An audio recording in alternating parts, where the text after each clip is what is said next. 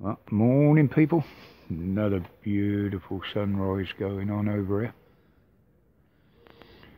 And what we're going to talk about today?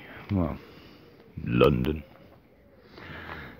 The new merry-go-round started again. Look at that sky up there. Beautiful. And the corruption, obviously. And one or two more things today watch on to find out what I've got to say.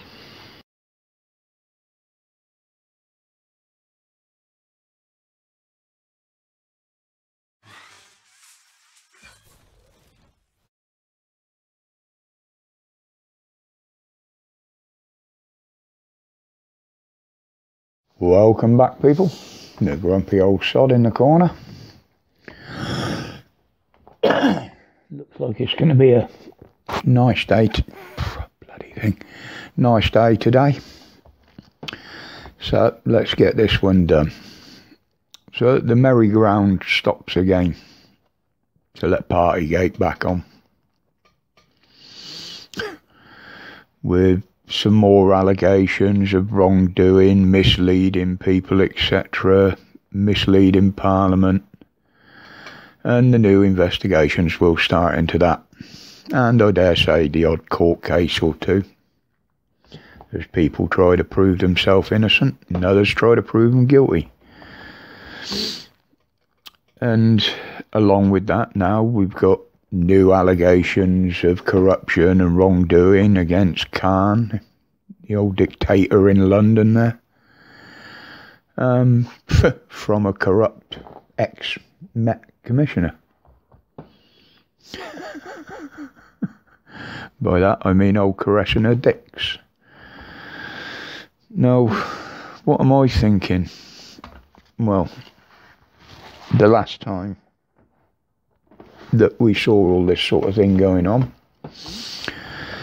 it was just another smokescreen. Um,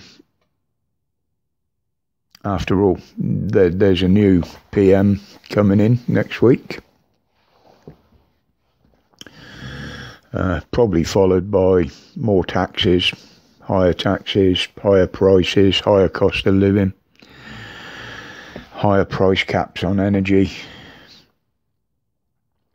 Now, are they just putting this out to the front there as a smokescreen to distract us all from that? Unfortunately, we'll have to wait to see if I'm right, won't we? And don't forget, with the uh, new fear came fear campaign now starting, you know, get jabbed up again for the winter, protect yourself and loved ones from the lurgy. We've been on that one before as well, haven't we? But as I've said now, London's been lost for a while, um, especially with the Met and old dictator Khan in charge there. You know, what I'm seeing there is them turning minority groups against each other. I see them turning race against race, turning ordinary day people against ordinary day people. You've got the police gone rogue. They're, they're hunting the streets in packs, just looking for that wounded or lame individual before launching a mass attack on them. it's it's like an arena of death in London.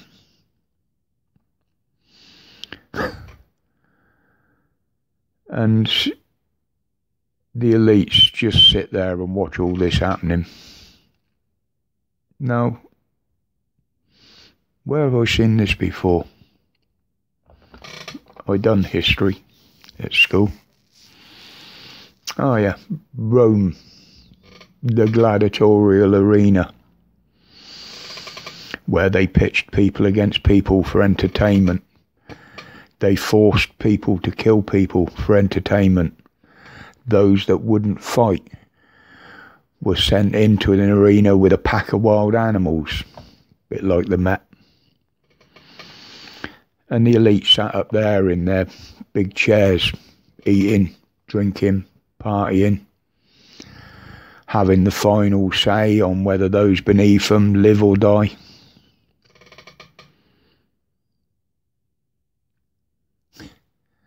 That's hell of a comparison, isn't it? But that's what I see. Unbelievable.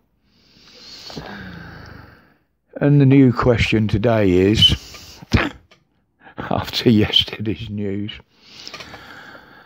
how did a bunch of protesters get into the seat of parliament, let alone glue themselves into it? Now, this is supposed to be a secure building. It's where parliament sit, where the leaders sit. No, they got in there unchallenged by the looks of it, from what I can see. Now, you stand outside a police station with a camera. You'll be swarmed with the Blue Line Gang, accusing you of all sorts of crimes. Yet this lot can just walk into Parliament, into the House of Commons, and glue themselves around the Speaker's chair, the seat of Parliament. how, how does this happen? You know, the police too busy out arresting innocent people. Um, if you've got any answers to this or inquiries, obviously, put them on a postcard. Send them to New Scotland Yard, Victoria Embankment, London SW1A 2JL.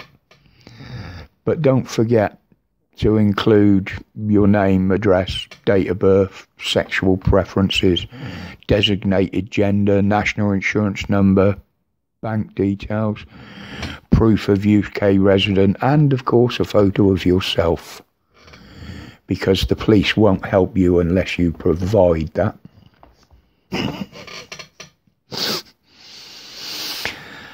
And now the Civil Unrest Index. Now, I'd never heard of this crap. Um, they're easily Google, Googleable on the internet. now, they've said in their latest report that the civil unrest in most countries around the world, I think they said in 101 countries out of 198 around the world, is going to continue to rise through this year, into next year, possibly beyond, which could end up with a breakdown of global societies. Yeah, I can totally see that, thinking about it, the way things are going. But they're putting these escalations down and the continuing of all over the world down not just to the cost of living, but to, to the corrupt tyrannical governments pushing their narratives and agendas. Now, why haven't I heard about these things before, this group before? Hmm. Strange. Um, like I said, Google um, Civil Unrest Index 2022. You'll find their up to date reports on there. Who makes these reports? I don't know. I haven't got a bloody clue. but uh, anyway, I'll leave that to there today, people. It's the weekend obviously, we're going to have things to do. So, from Skull Corner, I will say thank you for your support. The viewings and the comments now are going up, and uh, I took a lot of time to make sure I answered everybody yesterday. But if you've got anything rather than send a postcard to the Met, you can always put it in a comment below. But thank you for your uh, support. My respects to each and every one of you, as always. And until the next one. Oh, don't forget, PAP Live Sunday is um, members only this week. So just be aware of that if you're trying to log in and you're not a member. Stay safe Stay strong. Stay free from the fear and the propaganda. Respects, guys.